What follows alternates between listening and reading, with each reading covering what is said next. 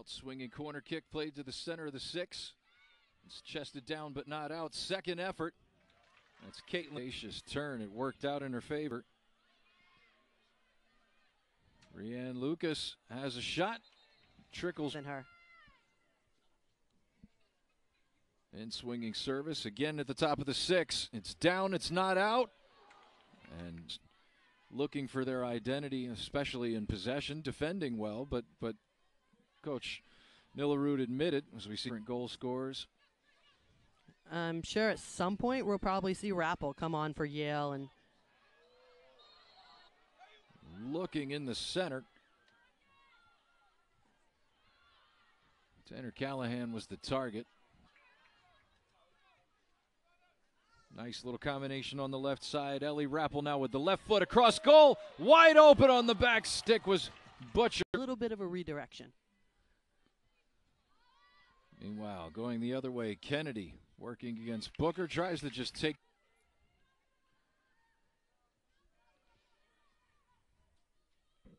There's the service from Butcher.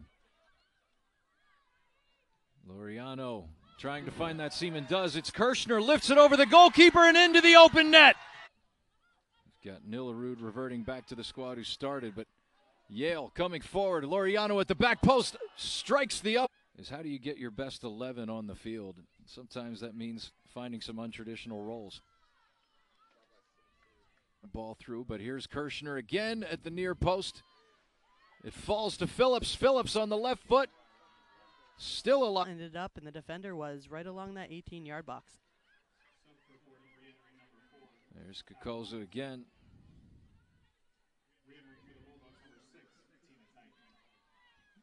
Coming out of the back is Horton off her right foot.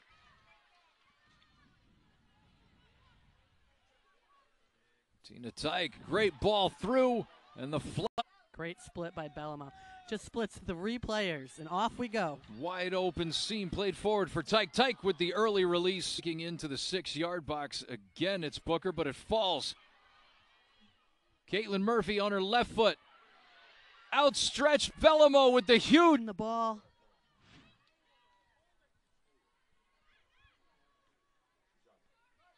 And this time Bellamo just. Yale trying to preserve the 1 0 lead, but right out of the gate, a chance for Fordham. We knew it.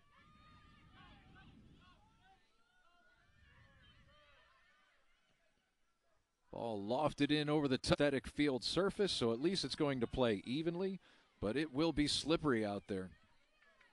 Launched over the top for Kennedy. Kennedy wide open in front of goal. Only right now. It's too slick.